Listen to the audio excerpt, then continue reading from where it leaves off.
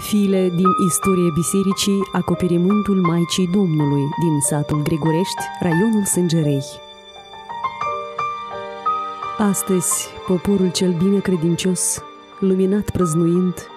umbriți fiind prin venirea ta, o Maică lui Dumnezeu, și căutând către prea cinstită icoană ta, cu umilință grăim, acopere-ne pe noi cu cinstitul tău acoperimânt și ne scapă de tot răul, rugând pe Fiul Tău, pe Hristos, Dumnezeul nostru, să mântuiască sufletele noastre. Troparul cinstitului acoperimânt al Maicii Domnului. Cine nu-și dorește să se afle sub acoperimântul Maicii Domnului, să fie ocrotit de ea și să fie grabnică, ascultătoare și mijlocitoare?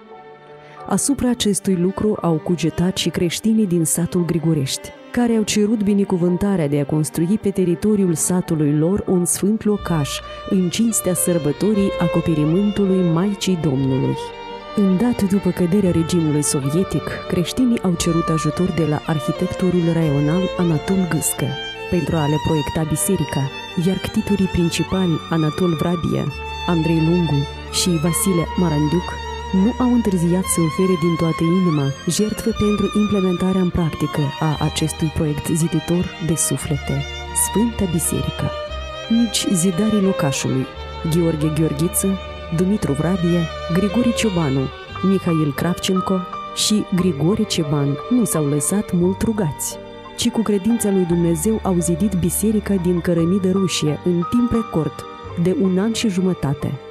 iar în anul 1993 au fost construite casa parohială și fântâna din ogradă bisericii.